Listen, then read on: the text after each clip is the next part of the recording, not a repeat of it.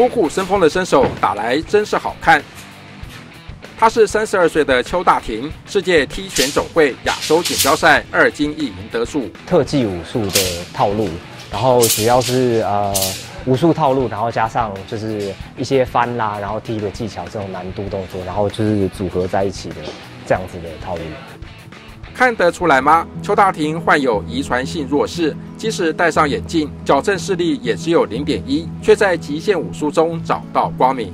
我的眼睛是大概十，大概国二那个时候，然后突然从正常人视力，然后掉到零点一以下。视力不好带来不方便的东西，是真的蛮多的。像我就蛮蛮讨厌搭公车，因为公车 因为人来了几号，然后都都看不到。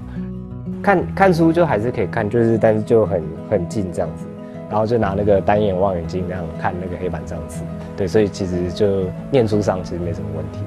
克服弱视障碍，邱大婷考上台大戏剧系，没当上演员，却深深被体操社给吸引。小时候就是，就我我爸很喜欢看武侠片。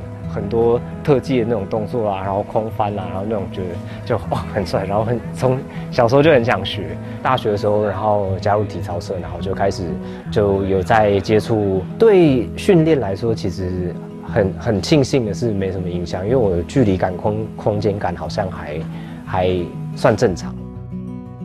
想练会那些东西的欲望还蛮强的。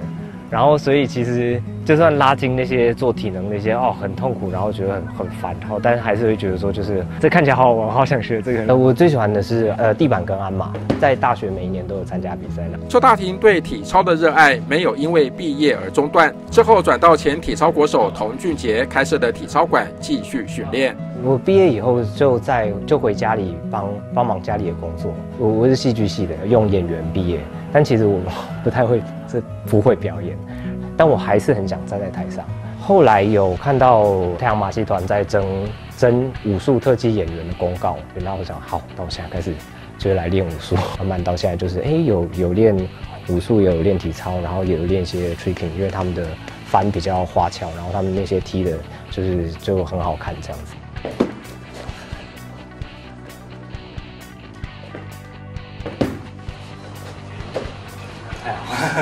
你没有车自己做，所以真的要从很直线那种那种动作，可是我要训练做的是直线，有一点，其实会有一点点，有一点有点往后。